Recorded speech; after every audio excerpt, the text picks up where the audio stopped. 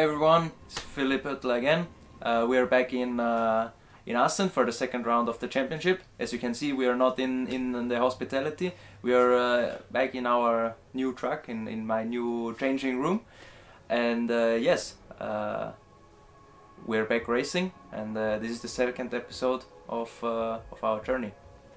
Nice, Philipp. And um, how was your first race um in World Superbike? Uh, the first race in Aragon was uh, was good.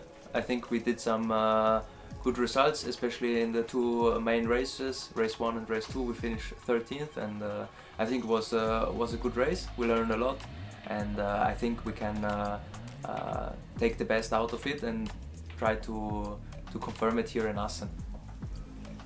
For the first time, you faced three races in a weekend. How did you manage them?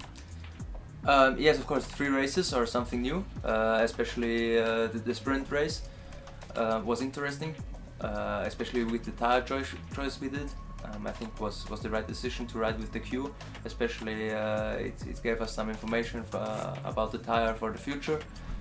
Uh, oh, it was was good. I think after the last race, I was uh, was finished, but I think that's okay.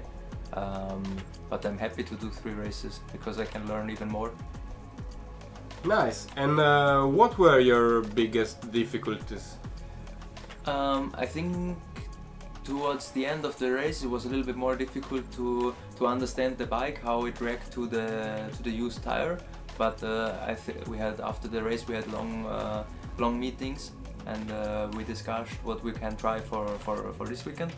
And I think uh, we we can find a good solution and uh, be a little bit stronger at the last part of the race. Are you happy with your uh, first uh, weekend? Yes, I'm, I'm happy with our first weekend. Uh, I think it was was good. Um, we had a quite consistent weekend, and uh, can't wait for the second weekend now. All right, Philipp. And uh, we know that uh, last week uh, you were busy in uh, Le Mans uh, 24 hours. Yes, uh, 24 hours of Le Mans was uh, was not planned, um, but it was a great uh, opportunity.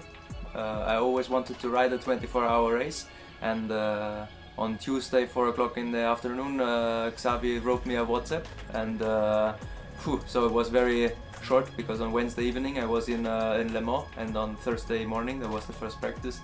Uh, it was a tough race, but it was a really great experience, especially with uh, David Checa and Xavi Forés was uh, was really nice. And uh, we had some problems in the race, but it was a it was a great experience. And how important uh, is the feeling with the, the teammates?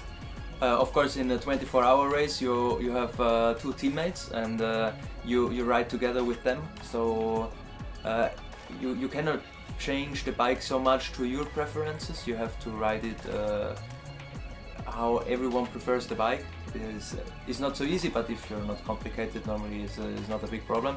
Uh, but with Xavi and uh, David was uh, was very easy. Uh, we had a good connection. We had a lot of fun, uh, and it was was great to to ride with them. How does it mean uh, to compete for 24 hours in a row? Oh, it's tough. It's really tough. Uh, you're minimum one hour on the bike, uh, and that's really long.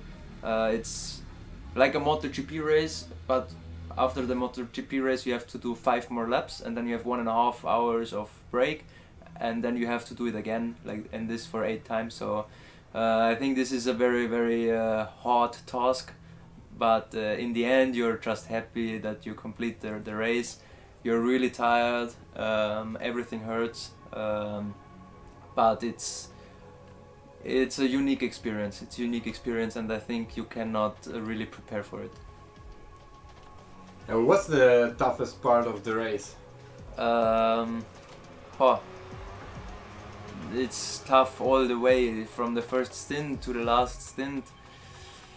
Uh, especially in the morning the, the first stint when the sun comes up it's it's uh, really hot because you you made it through the night.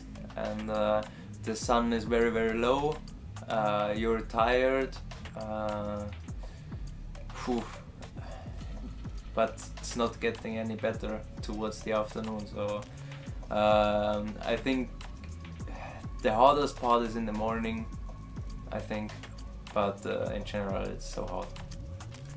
And um, will you do other race uh, in your life? Other endurance in your life?